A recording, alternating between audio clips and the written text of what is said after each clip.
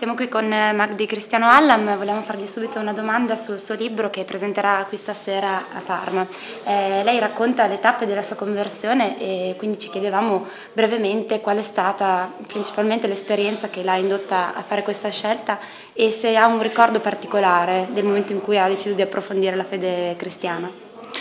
È stato un percorso, un percorso eh, molto, molto lungo in cui eh, gradualmente eh, la eh, presenza di tanti testimoni di fede eh, che eh, tramite le loro opere buone eh, mi hanno convinto della bontà di questa religione e hanno sedimentato dentro di me uno strato sempre più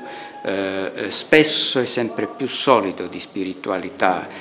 cristiana in un, in un primo momento inconsapevolmente, soltanto nella fase finale eh, che io ho cominciato ad acquisire consapevolezza di questa eh, realtà e se c'è stato un eh, momento in cui più di altri ho maturato questo percorso è stato l'incontro con il pensiero e con la testimonianza del Papa Benedetto XVI che nella sua affermazione dell'indissolubilità tra fede e ragione mi ha pienamente convinto, eh, sin da quando ero musulmano, laico e liberale, eh, della eh, validità di un messaggio che rivolgendosi con eh, il linguaggio eh, umano, laico e razionale, eh, per eh, evidenziare ed affermare dei valori che in ambito laico sono assoluti e universali, mi riferisco al diritto alla vita, al diritto alla libertà religiosa,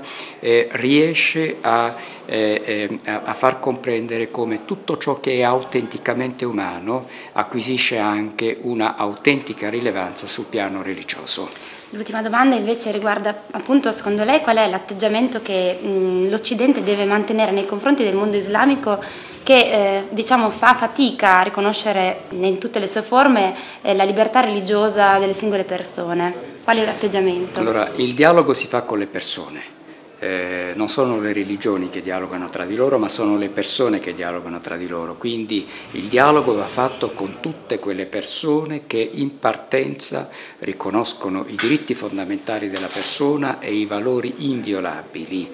E al tempo stesso questo dialogo deve essere condotto nell'affermazione della verità a cui si crede, quindi eh, eh, affermando pienamente e convintamente la religione cristiana, eh, senza relativizzarne eh, i, eh, la, la, la, portata e i, e i contenuti, affrancandosi da quel politicamente corretto che ci porta a non assumere atteggiamenti che possano urtare la suscettibilità altrui e eh, giocando a carte scoperte. Si deve tendere certamente la mano, si deve dialogare, si deve costruire con tutti, ma partendo dalla consapevolezza e dalla, e dalla eh, solidità della propria, della propria eh, fede e dalla certezza che il dialogo sia strumento di costruzione e non di distruzione.